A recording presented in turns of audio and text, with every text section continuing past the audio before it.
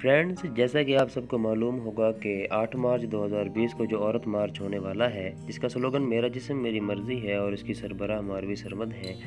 آج ہم آپ کو بتائیں گے کہ ماروی سرمد کون ہے اور یہ کیا چاہتی ہیں۔ ماروی سرمد گیارہ جون انیس سو اکسٹھ کو ایک بیروکریٹ گھرانے میں پیدا ہوئی۔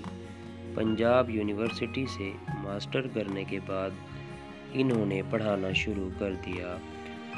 پڑھانے میں کوئی دلچسپی نہ ہونے کی وجہ سے انہوں نے پڑھانا چھوڑ دیا اور صحافت میں قدم رکھا۔ انہوں نے مختلف اخبار جیسے کہ روزنامہ خبریں اور روزنامہ جنگ کے لیے کام کیا اور ساتھ ہی این جی اوز میں کام کرنا شروع کر دیا۔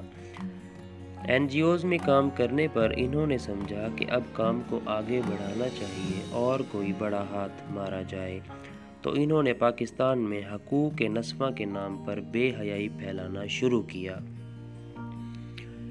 جس پر انہیں اچھی خاصی فنڈنگ بھی ملنا شروع ہوئی۔ تب سے یہ عورت حقوق نسمہ کے لیے کام کر رہی ہے۔ بظاہر تو یہ عورت حقوق نسمہ کی بات کرتی ہے، لیکن اس کا اصل مقصد مغربی تہذیب کو پاکستان میں لانا ہے۔ یہ عورت توہین رسالت کا قانون بھی ختم کروانے پر کافی کام کر چکی ہے۔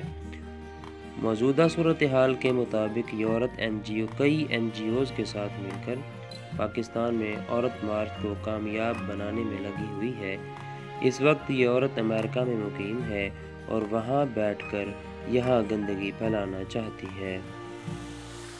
فرینڈز، اگر آپ اس ویڈیو کے بارے میں کچھ کہنا چاہیں تو ہمیں کمنٹس کر کے ضرور بتائیں اور تازہ ترین اپڈیٹس کے لیے ہمارا چینل سبسکرائب کریں۔ اللہ حافظ۔